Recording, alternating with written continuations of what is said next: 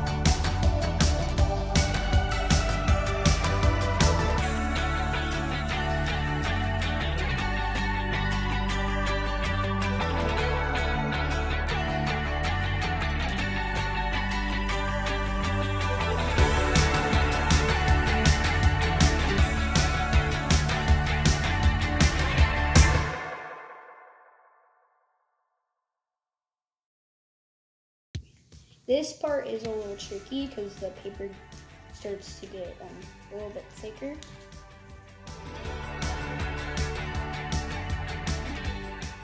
Then you're gonna wanna unfold it, and it's okay if it's like that. No, it doesn't have to be perfect. Um, but after that, you're gonna take one of these ends and fold it like this. Don't fold it like this, because um, you can't make it, obviously.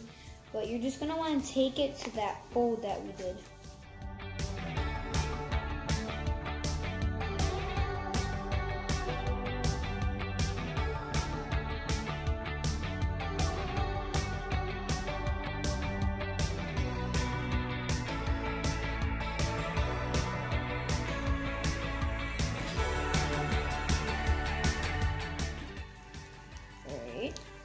So then you're gonna wanna you're gonna wanna take this side, not the side with um, not the side that's like folded. So you see, see um this and this. You're gonna wanna take this side and just fold it to where that line is.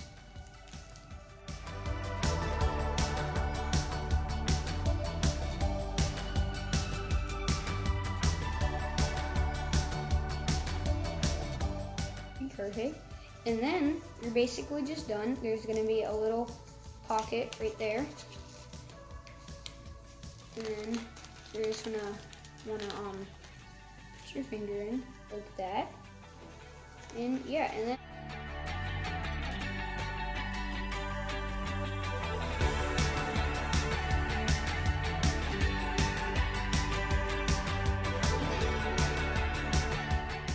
Yeah, so you can look like the Wolverine if you if you like the Wolverine.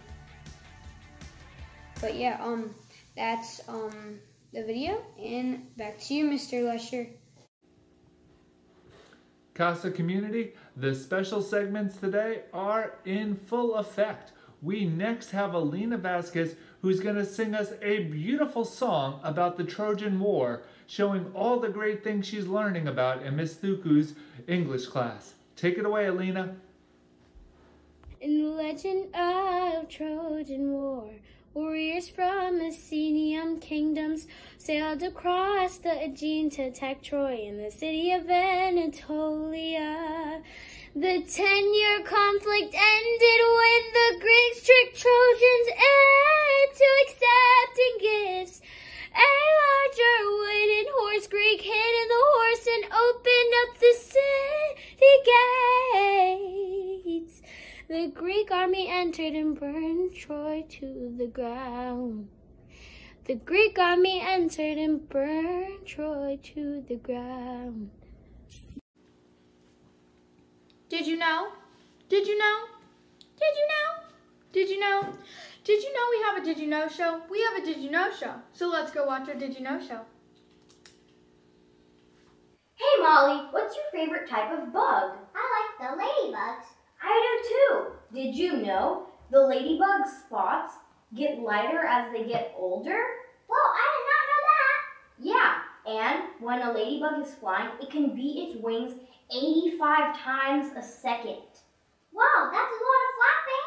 Yep, it is. Okay, I'm gonna go now. Bye, Molly. Bye,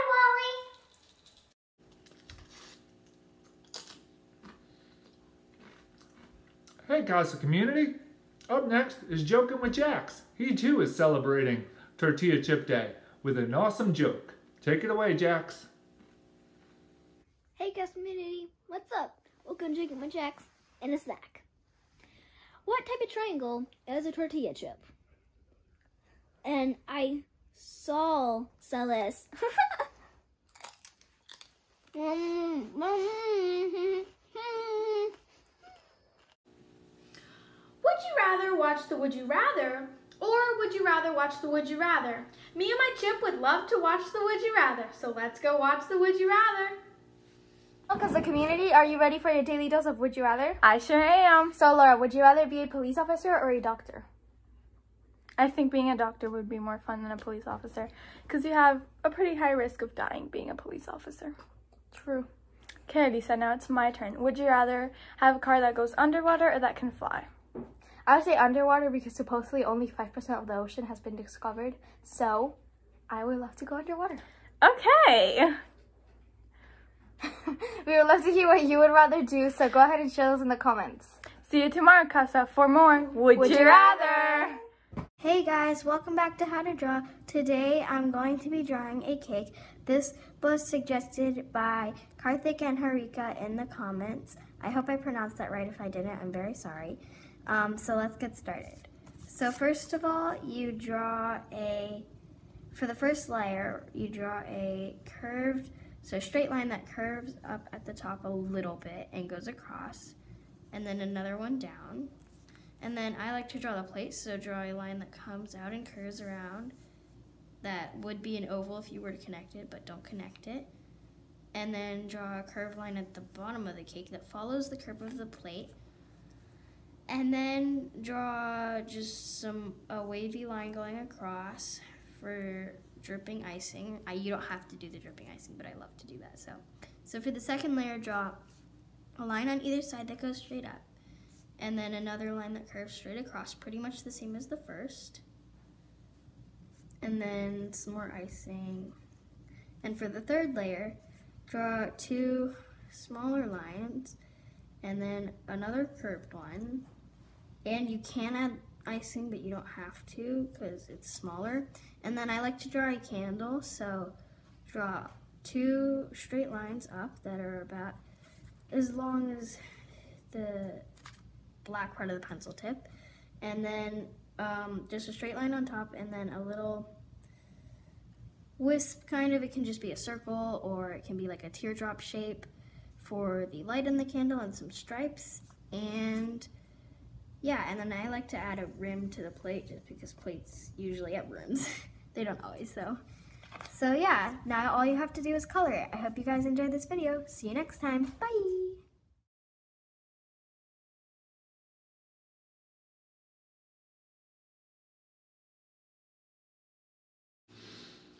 Well, Casa community, my favorite riddler and yours is back, Miss Lily Lesher, with the riddle of the day.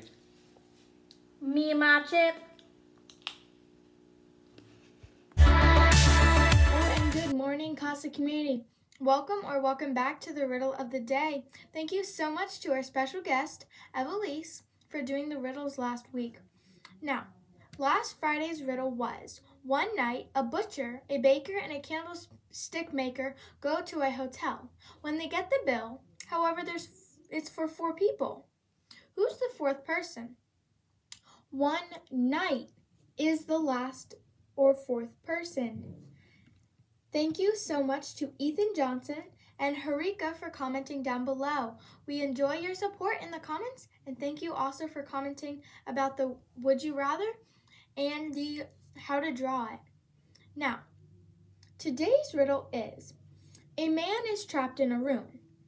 The room has only two possible exits, two doors. Through the first door, there is a room constructed from the magnifying glass.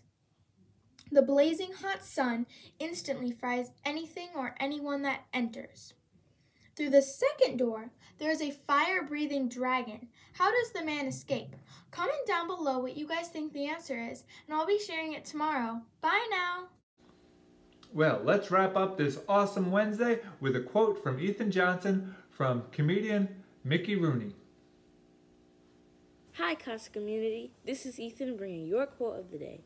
Your quote today was said by Mickey Rooney, a famous actor. What he said was, You always pass failure on your way to success.